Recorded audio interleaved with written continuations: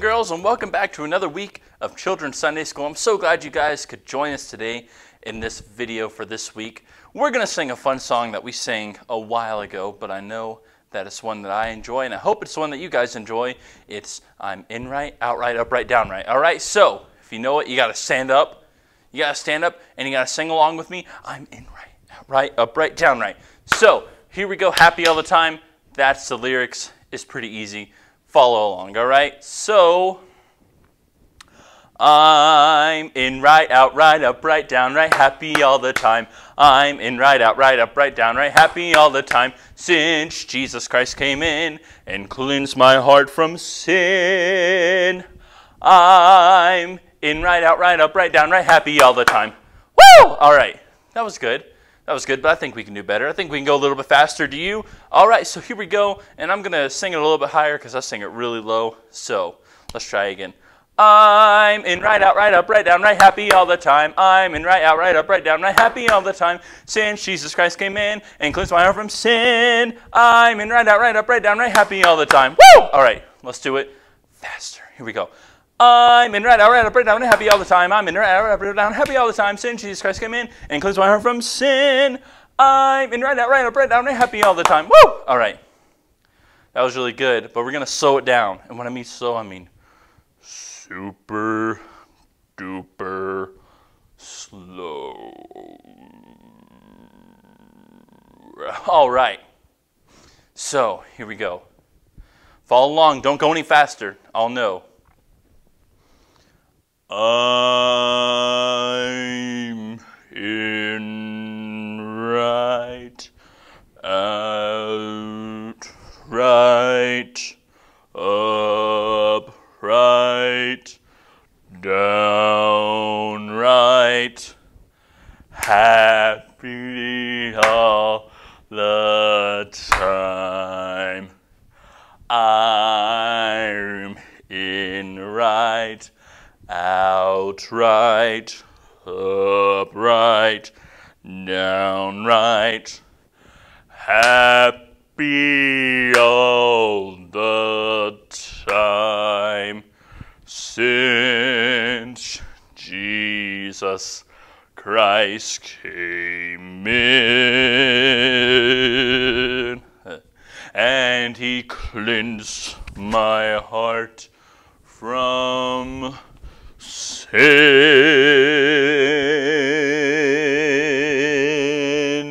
I'm in right out, right up, right down, right happy all the time. Woo! Okay. That was really slow. That was like really slow, but you know what? We are now going to go as fast as we possibly can. So you guys, you guys got to stand up, get in your ready positions right here, like this. Get your feet moving a little bit because it's going to go really fast. All right, you guys watching? You watching? Here we go. Let's go, let's go, let's go. I'm in red, red, red, down, happy all. I'm in red, up, down, happy all the time. Since in, I'm in red, up, down, happy all the time. Whoo! Whoo! Good job. You guys did a good job. I'm so proud of you. You guys went super duper slow, super duper normal, and then super duper fast. So, good job. Proud of you. I hope you guys enjoy the lesson that Miss Gale has prepared for you guys today. We will see you at the end, and we're going to sing one more song there at the end. Well, hello and welcome to Sunday School. Uh, I'm excited to be here and I'm glad that you're here. And I want to thank Mr. Jack for leading some songs for us. And um, to, we are going to start with prayer. Last week I forgot to start with prayer, so let's bow our heads. Heavenly Father, we just thank you so much that we're able to meet together even though we're in different places. And we thank you that we live in a country where we are free to come together and worship you. And I pray for each one listening that um, the Holy Spirit would work in their hearts and have them learn what you would have them learn. And I pray for me that the Holy Spirit would speak through me and have me to teach what you would have me to teach. We love you and we thank you again. In Jesus' name, amen.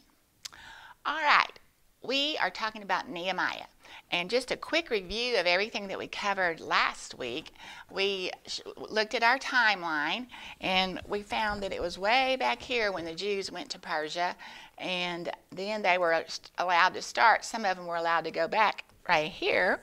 And then we, our story of Esther and Ahasuerus took place right here. And then Nehemiah comes on the scene at the king the king right after Ahasuerus, and this king's name is Artaxerxes. So that's kind of a timeline of how things are going. And last week we learned that Nehemiah was the cupbearer to the king, which was a very high position. Uh, he had some responsibilities uh, of serving the drinks, and he also had the king's confidence, and he also was responsible to taste the drinks before the king did, so to make sure it was safe for the king. Um, but we learned that there were some people who came to Shushan, and they had just been at, to Jerusalem, and they told Nehemiah that the gates were burned and the walls were t- t- torn down. And Nehemiah, the Bible says that Nehemiah sat down and wept and cried. He was so discouraged by this news. Now, this uh, Jerusalem was his hometown, even though he had never really lived there. They had been carried off, and his great grandfather uh, lived there. But Nehemiah had never actually been to Jerusalem, but it was the city where his people were from. But more importantly, it was the city of God. And he said, you know, people are going to think that our God is weak if he can't even take care of his city. So remember how long he prayed? The Bible says that he prayed day and night for how many months? That's right, he prayed day and night for four months. And then when it was time for him to speak to the king, he was prepared.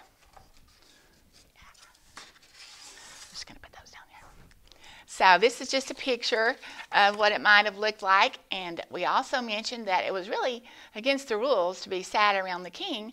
So when King Artaxerxes asked Nehemiah um, why he was sad, Nehemiah was a little bit nervous about it, but he told him about Jerusalem, and he thought the king might get mad if he asked time off. But the king said, How long will you be gone?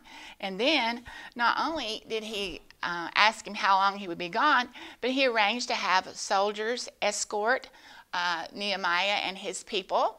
He arranged for them to be able to go to the uh, Cedars of Lebanon forest and get uh, trees.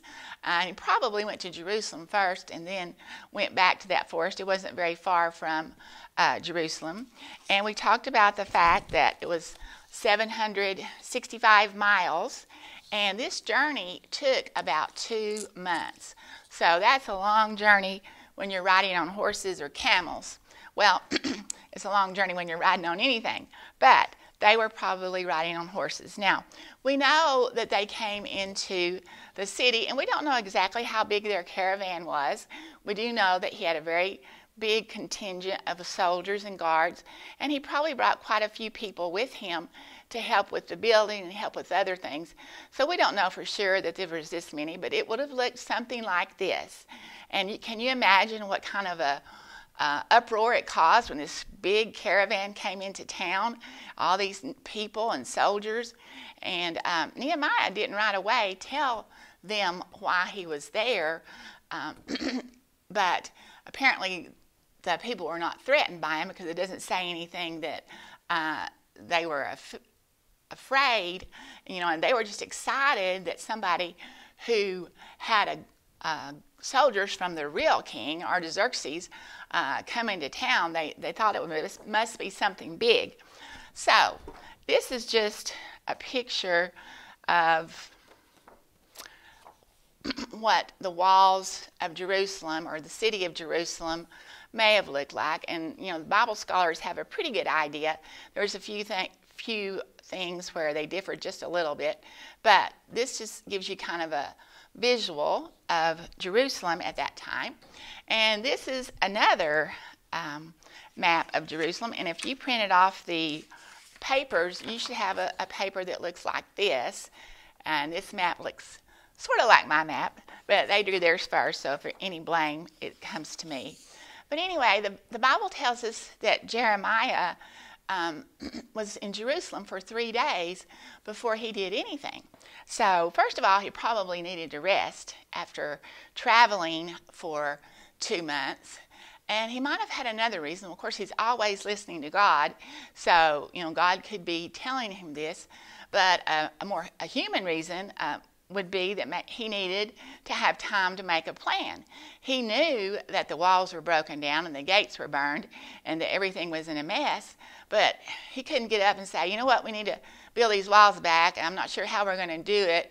Um, I think we're going to need some new stones and maybe some wood. You know, if he would get up and do that, then people are going to think he was uh, not qualified to lead a huge um, I wanted to say expedition, but that's not the right word. Huge um, undertaking, yes, uh, of this kind.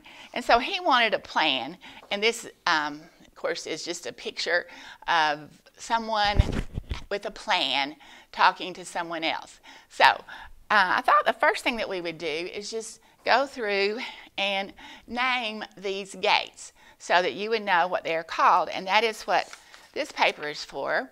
Now, if you were going to do it by yourself, then you would read the Bible reference and it would tell you the name of the gate. But I have already read them and I knew we wouldn't have that much time. So I'm just going to tell you the name of the gate. And we're just going to start right here. And this is called the fish gate.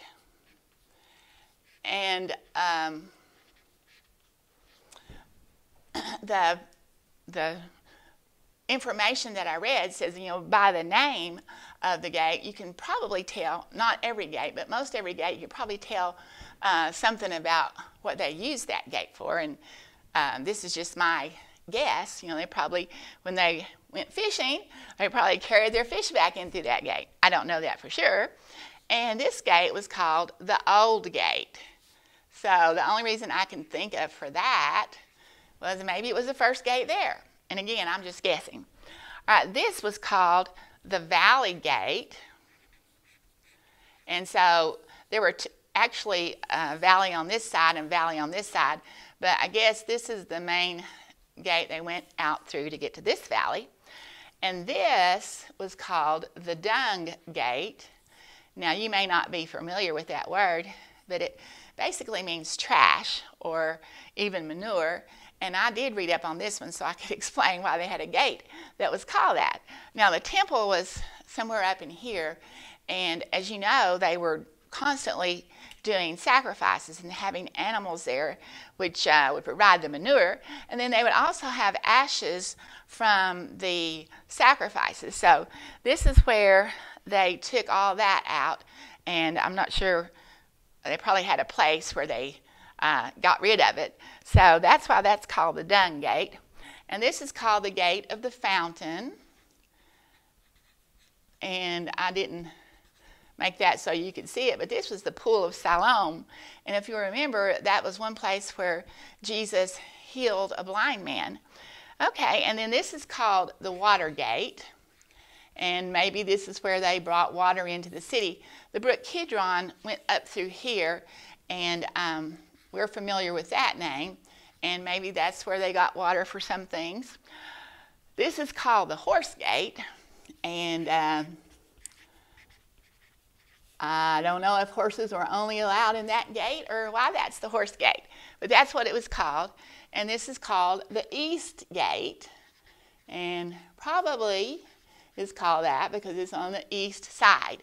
And then we have the Gate of Miphkad. So I don't know what that means either, but it sounds like it's named after someone or something. And then we have the sheep gate. And that's probably where they brought in sheep for the sacrifice uh, in the temple, um, or even to have them in a safe place at night and they took them out during the day. I don't know. But anyway, those are the names of the gates. And let's see, one, two, three, four, five, six, seven, eight, nine, ten gates. And uh, that was at the time of Nehemiah. And I'm sure that probably changed uh, few times through the years. I don't know how many there are now. But anyway, anyway, Nehemiah um, came to Jerusalem. He waited for three days. And, um, oh, first of all, I wanted to answer this question um, it says, Write how God feels about Jerusalem. And it tells you to look in Psalm 87, verse 2. It says, The Lord loveth the gates of Zion more than all the dwellings of Jacob. So there it tells you that Jerusalem basically is God's favorite city.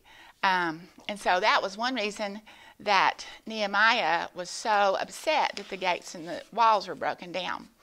All right, um, I'm going to turn this over.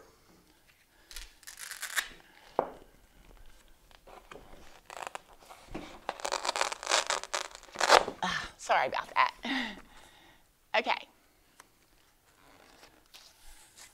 Now, this is kind of like a diary of Nehemiah. And if you have a paper like this, if you printed it out, and mine's got the answers on it, so yours just has blanks. But if you want to fill that out as we go along, you can. Or if you want to do it by yourself, you can find the answers in these verses that it tells you about over in the margin. First of all, I'm going to read um, a few verses from Nehemiah. This is, this is what this diary is about. This is the King James Version, and this is probably the New International Version. Uh, I like some of the wording in the King James a little better, so I'm going to read this. So I came to Jerusalem and was there three days. And I arose in the night, I and some few men with me. Neither told I any man what my God had put in my heart to do at Jerusalem, neither was there any beast with me, save the beast that I rode upon. So he's going out with a few men. He's, he's the only one riding, the rest of them are walking.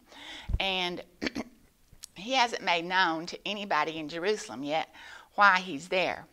I went out by night by the gate of the valley, and I guess I should have waited to turn this over, but the gate of the valley was on this side.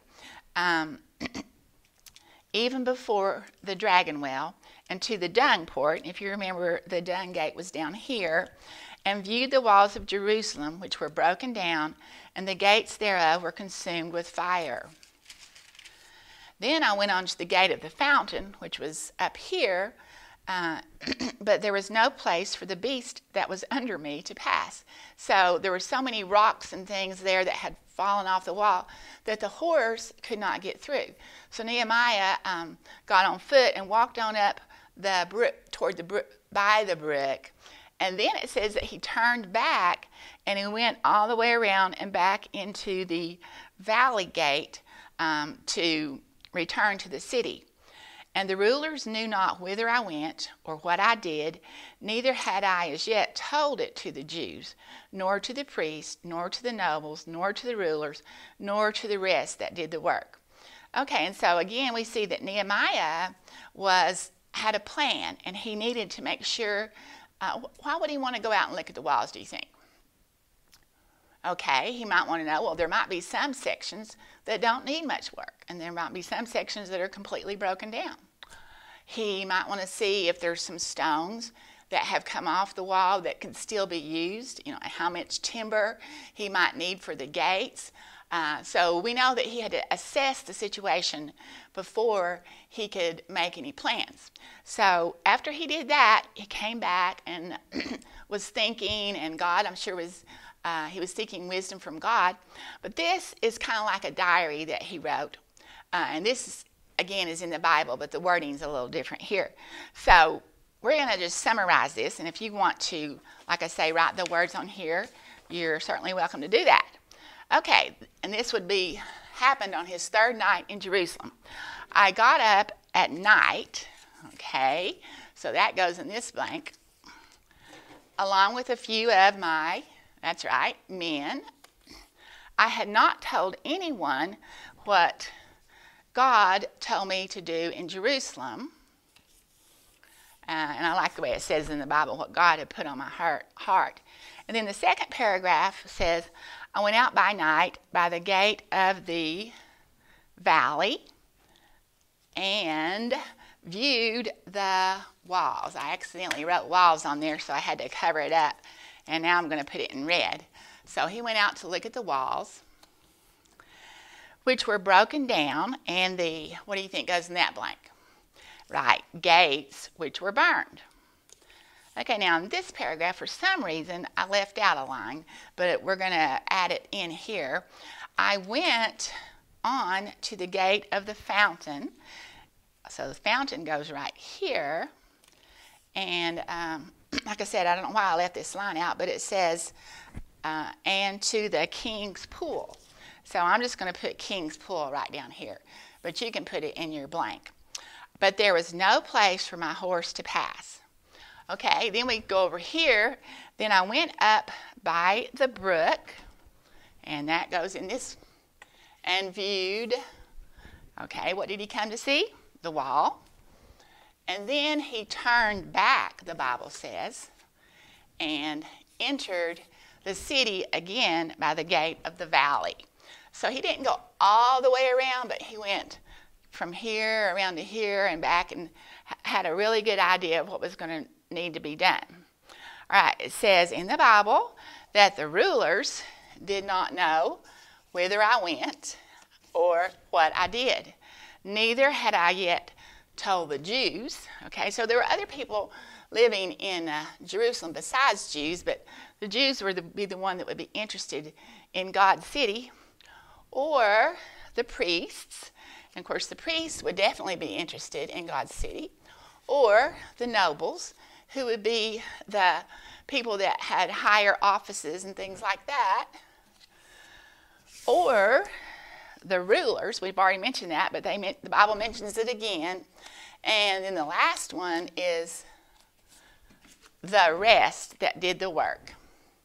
So this is a summary of what he did that night. Now, after he did that, the Bible tells us that he gives the people a pep talk. What is a pep talk? Okay, well, if you've ever played sports, your coach is probably giving you a pep talk. You know, if you got a hard game coming up, uh, he or she might have said, well, you know, we can do this and we can do this and we can shoot with the best of them or we can play defense. You know, you got to get out there and win this game. Or maybe if you had something hard to do at home, your parents gave you a pep, pep talk. Now, I know you can do this. This is hard. You've never done this before, but I believe you can do it. That's a pep talk. So when you're giving somebody a pep talk, you're trying to make them think they can do it and that they should do it and they can be confident about it. So Nehemiah gave him a pep talk and he said, Look at the walls of our city. They're torn down, the gates are burned. This is a disgrace. So he kind of he started off on a negative note. He said, People are making fun of us and people are making fun of our God because of the way the city looks. He said, But we are going to rebuild this city. The good hand of God is upon me, and He's given me instructions. And the king has sent all these soldiers to guard us while we're working on this because the people around us may not want us to rebuild these walls. And He has given us permission to use the cedars of Lebanon. And my God is going to make this happen. We can do this. And so the people said, let's rise up and build. So his pep talk worked, and everybody was ready to go to work. Now, it says in the Bible, it tells you um, wh- who worked where and all that, but he put people close to where they lived on the wall. For example, oh, I don't have my map anymore, but for example, if I lived right here, he might have my family working right here on the wall.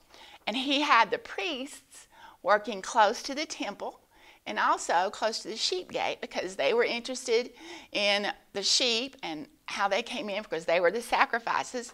So, why do you think he wanted everybody to work close to where they lived? Okay, if I am working on a wall and I know that it's going to protect me and my family, I am going to be sure to do a good job. If I'm working on a wall and I have no idea, you know, who's going to be protected by it or what the purpose of it is, you know, I may build it, but I'm not going to take the extra time and effort to make it the very best, probably. So Nehemiah was very wise in assigning, he, he divided the wall into sections and he assigned each section to a group of people. Okay, and I just brought a few pictures that uh, show us what it might have looked like. Uh, well, let me show this one first. This is uh, what it might have looked like when Nehemiah uh, only shows Nehemiah in this picture, but you see the gates are broken and the walls are broken down. And here's another one that's a little more realistic. Uh, it's kind of hard to see because it's dark, but it shows the walls broken down. And then one more. I just couldn't decide which one I liked the best, so I got them all. And here's another one that shows some men with him, and he's holding a torch so he can see. So these are just, you know, some artist's idea of what it looked like when Nehemiah went to inspect the walls. And then here are some pictures of people actually building the walls. And uh, again, we don't know exactly what it looked like, but they're losing, using some sort of pulley to uh, lift the stones up. And this one, they've got scaffolding built so that they can climb up on there. And uh, here they're using, again, uh, these stones were heavy, so they had to figure out a way to move them and put them where they need. This was a huge undertaking. You know, it's easy for me to stand here and say they built the walls of Jerusalem, but it was not easy for them to do that. But the good hand of their God was upon them. And then um, I just have one picture, uh, and this is a modern day picture of the Valley of the Gate. So that's what it looks like. I mean, the gate of the valley. That's what it looks like today. All right, so we've got Nehemiah has checked out the walls and he has started the building. He divided the wall into sections and he put certain people at, at the section that would be the most important to them. And everybody is enthusiastic and everybody's building, and um, ad, adversaries are about to rise up on the horizon. And adversaries means enemies or somebody that's going to try to keep you from doing what you want to do. So, we're going to talk about that next week, and we're going to find out how Nehemiah handles adversity. I'm sure that we can already guess because he prayed for four months before he even started this undertaking. And um, so we're, we're, pretty sure that he's going to pray about it. We're pretty sure that God's going to give him some wisdom. But next week, like I said, we are going to find out who tried to keep them from building these walls and why they tried. And then we're going to find out what God, through Nehemiah, did and then we're going to find out how long it took them to build the walls. It was record time. And then we're going to find out how they celebrated. But today we're going to wrap this up and with our Bible verse. This is the part that tells us that God put us here for a certain task. He put Esther in the palace when he needed a queen there. He put Nehemiah in the palace when he needed somebody to come back and rebuild the walls.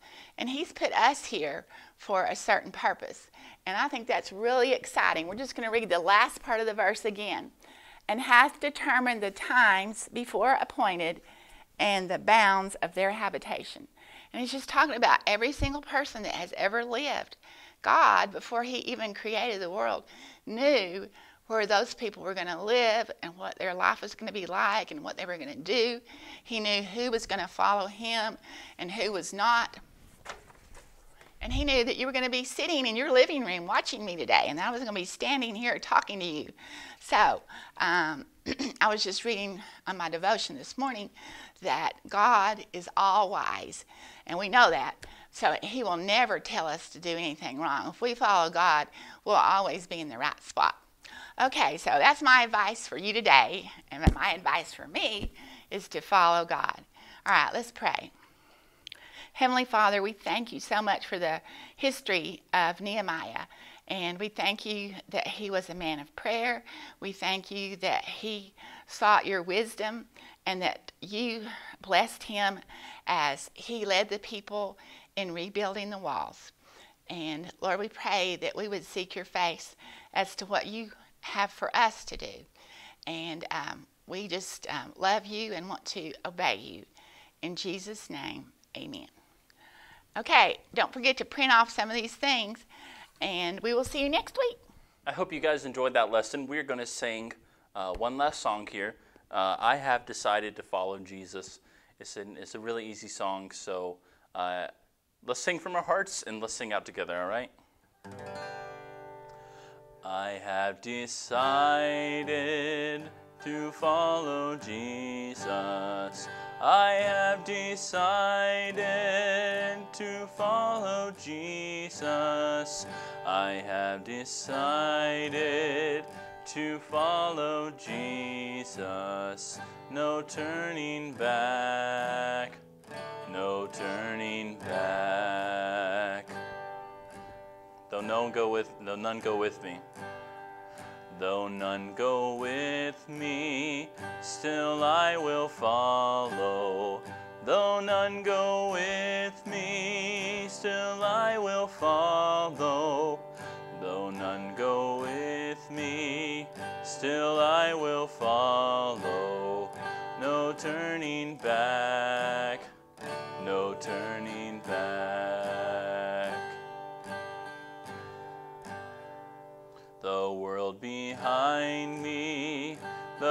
cross before me. The world behind me, the cross before me. The world behind me, the cross before me. No turning back, no turning back. I have decided to follow Jesus. I have decided to follow Jesus. I have decided to follow Jesus. I have decided to follow Jesus. No turning back, no turning back. Good job, good singing this this uh, this week. I hope you guys have enjoyed the songs and the lesson. But uh, make sure that you guys, again, are paying attention to the lessons and everything that's going on in these videos because we really want to be a help to you during this time. God bless you. Have a great day. Bye.